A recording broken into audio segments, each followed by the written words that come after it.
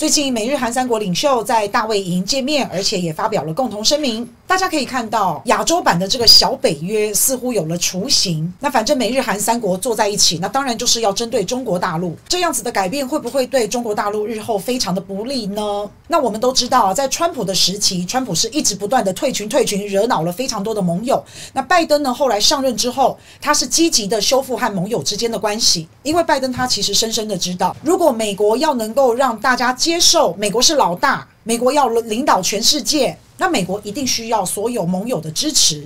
所以，拜登的首要工作就是拉拢非常多的朋友，让大家都支持美国，这样美国才会更加的强大。如果美国不能够统一西方联盟，又不能建立新的联盟，那美国很可能就无法在大国竞争当中取得优势的地位。如果大家都跟中国大陆比较好，那美国的世界第一大国的宝座可能就要拱手让人了。所以，美国是不断的在拉战队，不断的拉战队，叫大家选边站。而他的策略就是反华。不过，在欧洲这一块啊。欧盟各个国家对于反华这件事，他们其实是有存在着非常大的歧义跟矛盾。欧洲其实不想加入反华联盟，不想跟随美国去搞阵营对抗。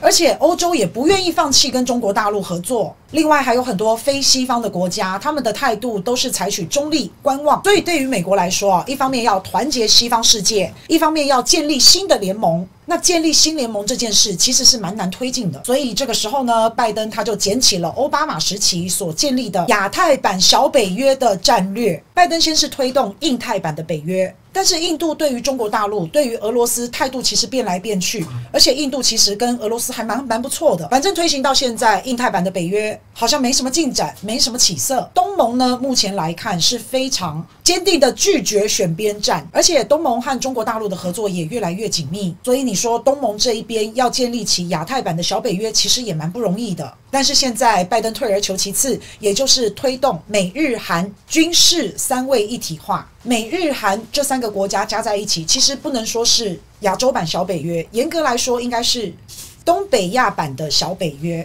不过，先把东北亚的小北约先建立起来，到时候再推进到整个亚太版或是亚洲版的小北约，总是要有个开头嘛。而且，美日韩军事三位一体化一直都是美国所追求的目标。可是，一直以来，韩国跟日本都不好，韩国一直存在着很深的反日的情绪，所以美日韩就因为日韩不好，所以一直都很难推进。不过，现在美日韩三方可以坐在同一个桌子上面了，这可以说是韩国总统尹锡悦给了拜登这样一个机会。因为尹锡悦他不但反华，他还亲美。现在美日韩三国领导人能够在大卫营上共商大计，发表声明，这可以说是拜登执政以来的非常一大亮点的好成绩。美日韩。在军事上面推动三位一体化，其实中国也一直推动了十几年的中日韩东北亚一体化。那现在很明显的，中国推动的中日韩东北亚一体化应该是失败了，因为日本跟韩国已经成功的被美国绑装绑在反华的战车上面，所以拜登当然很开心啊，很值得炫耀。从中日韩经济一体。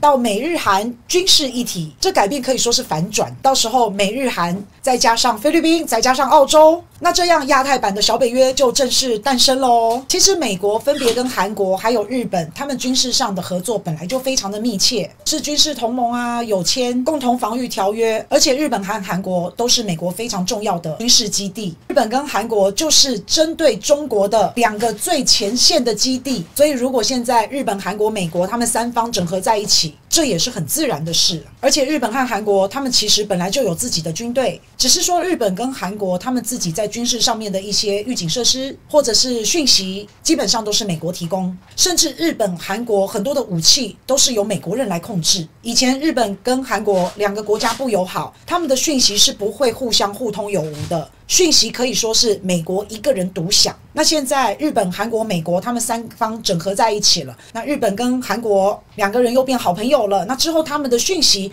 就可以互通有无喽。所以和好对日本跟韩国是有好处的。那美国在中间就比较不容易愚弄到日本跟韩国。美国想要上下其手，想要挑拨他们，就比较不太方便了。可是不要以为日本跟韩国两个好朋友，就真的是好朋友，因为日本跟韩国他们存在着太深的历史恩怨，还有利益纠葛。日本想要冲出亚洲，韩国也想要走出国际，而日本跟韩国两个是不断的在争宠，这两个每一个都想要成为爸爸最喜欢的那一个。那目前来说呢，日本应该是略胜一筹。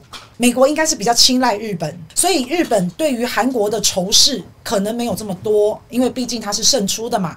但是韩国就不一样喽，韩国现在可是朝着第一宠物的位置奔跑啊，所以日本跟韩国两个国家都还是会明争暗斗。所以现在看到美日韩能够坐在一起，表面上看起来当然是很好，但是实际上到底真的务实吗？美日韩的结盟让大陆可能觉得受到威胁，那大陆如果受到威胁，那其他亚洲国家会不会也有相同的感受？如果大家觉得受到威胁，那就表示亚洲原本和平安稳发展可能会受到影响。那么这些国家会觉得安心吗？美日韩他们这样子的布局。符合其他亚洲国家的利益吗？菲律宾跟美国是贴得很近啊，他可能会想要加入。可是东盟国家现在是完全不选边站的态度，然后美日韩组成了这样子的军事联盟，尤其是军事，然后要来对抗中国大陆。你觉得这些东盟国家原本安安稳稳的，现在不会觉得害怕担心吗？在以前奥巴马的时期，其实东盟国家是非常欢迎美国来到亚洲插手亚洲的事务，因为那个时候中国大陆崛起的太快了，威胁到东。盟了，东盟害怕，所以那个时候东盟欢迎美国来插手亚洲事务。但是现在东盟已经变了，东盟不要选边站，不管拜登怎么说、怎么威胁、利诱、怎么跟东盟保证，东盟都不想要选边站。用一句新加坡总理说过的话：“亚洲承受不起中美对抗的伤害和损失。”什么东西都可以改变，但是中国这个邻居的地位是不会变的。反正现在东亚他们自己非常清楚自己要的是什么。目前东盟东亚的局势还算相对稳定，东亚的经济也还可以，RCEP 效果还不错。那现在东盟跟中国大陆也已经好多年彼此是互相的最大贸易伙伴，大陆的铁路啊、公路啊、一带一路的建设啊，一些互联互通都绑在一起。所以简单说，现在东盟和中国大陆的命运也可以说是绑在一起了。东盟。这些国家没有听美国的话，他们没有选边站，他们相对来说比较自主，他们战略自主了，他们就能够以自己的利益为优先。这就是战略自主最大的好处嘛，所以美国希望东盟能够加入反中抗中的队伍，那有点不太可能呐。但是也就是东盟这么自主，也不愿意加入，所以美日韩要讨好东盟。美日韩在大卫营的声明当中强调了东盟的地位，在美日韩声明当中，他们重申了东盟的中心位置和团结。我算有点听不懂啦，为什么要重申东盟的中心位置？